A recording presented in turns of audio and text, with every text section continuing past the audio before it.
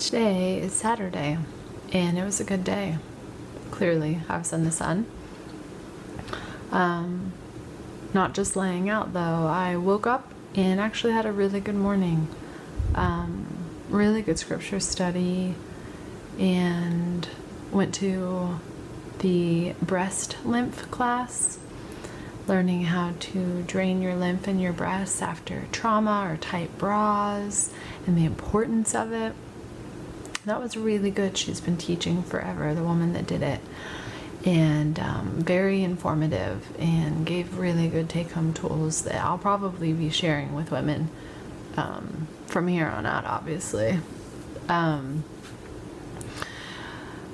I just was productive, connected, went to that class, did my wheatgrass, sat in the sauna, worked out, and guess what? Tonight, Saturday nights are ice cream night. And they do frozen ice cream through an omega juicer. I mean, uh, frozen bananas. And it comes out like so creamy. And I only had a couple bites of that because I actually am supposed to stay away from fruit. But they had an almond milk ice cream where you literally they just froze some almond milk, but such a treat and it was wonderful. Um, the majority of the afternoon, like hours, was were spent in the mineral pool, and Joe, the guy, the German guy that I met here, um, is trained in a therapy called water shiatsu, and you're in a pool and you're completely suspended on noodles under your head and under your knees. And you just allow yourself to like totally surrender. And he moves your body in a way that simulates you being back in the womb.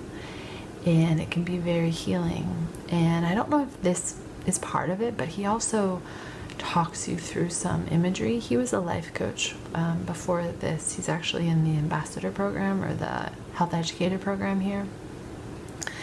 And um, I did a session yesterday and I did a session today. Well, what was cool is that he combined um, my friend Selena and I together, meaning um, we shared some noodles and then he moved our bodies like in sync and just having that person right next to you and i really have bonded with her.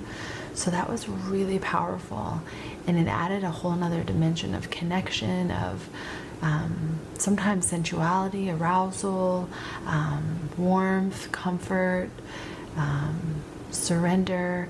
And then at one point he unseparated us and then moved her on top of me. So um, her back was on my and her head was on my chest.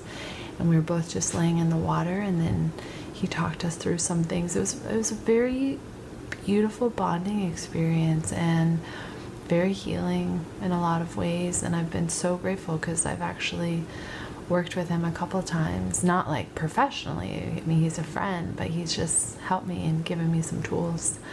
Um, I wanted to update about cancer itself and the tumor um, I was told to use poke root oil, P O K E.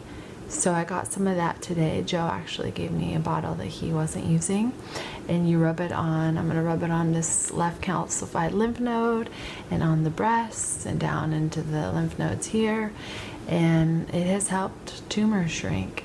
So I just got that today and I'm still doing um, the wheatgrass poultice on my tumor um, I don't know if that's the word, the pulp that I make the bandage.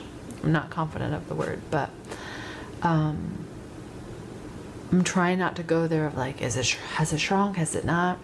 I don't go there. I just am nourishing and nurturing. Um, so cancer is very much there, and it's always kind of hanging over me, even if I don't mention it or if I talk about other things that I'm learning, um, cancer is the reason why I'm here, and I'm my body's aware of that, and I'm aware of that, but I don't give it energy like that. I'm just trying to be present and do what feels right um, through the spirit, through opportunity, through just natural unfoldings.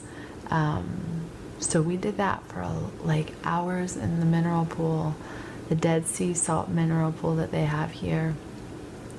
Um, and Saturdays you don't have a schedule, so it was just very beautiful, beautiful day. Um,